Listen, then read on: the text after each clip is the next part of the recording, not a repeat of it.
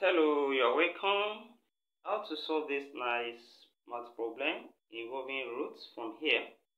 We have root 4 over 2 minus root 3. Here we can rationalize this, you know, surd inside here and multiply with the conjugate surd and also divide by that which is multiply by 2 plus root 3 then divide by 2 plus root 3 then this we multiply directly like this. So when 4 multiply this 4 we open the bracket and we have square root of 8 plus 4 root 3 then divided by here. What we have here is conjugate surd which follow difference of two squares. That is when we have 2 square minus root 3 square. So it will give us this. Then from here, this is same thing as square root of 8 plus 4 root 3 then divided by we have 2 square that's 4 then minus here square cancel square root that's 3 then this is same thing as square root of 8 plus 4 root 3 then over 1 which is same thing as 8 plus 4 root 3 then if we can write this in this format that is when we have root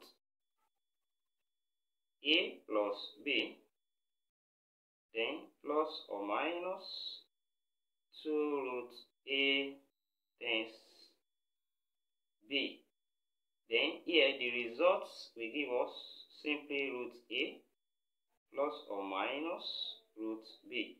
Now from here, let's try and write this one. What we are dealing with here is the plus sign. Then we can write this again as root 8 plus 2 times 2. We have 4 as 2 times 2, then root 3. And also from here, these two we can write it again as root 4 that is root 8 plus 2 then times root 4 then times root 3 then we have the same you know we have root we can multiply this number inside the same root which is 12 so we have root 8 plus 2 times root 12 now. Then from here, we can separate this as 6 plus 2.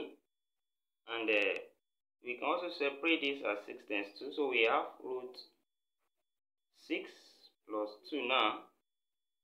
Then plus 2 times root 6 times 2. Now, when we compare this with this format we have here, taking 6 as A and 2 as B from here, we discover that the result here will simply be equals to root 6 plus root 2.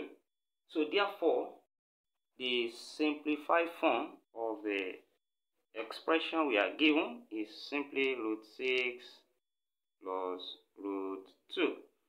Thank you for watching. Don't forget these steps subscribe for more exciting videos. Turn on the notification bell. Share this video. Give it thumbs up. Put your comment. Thank you. See you in the next class. And bye for now.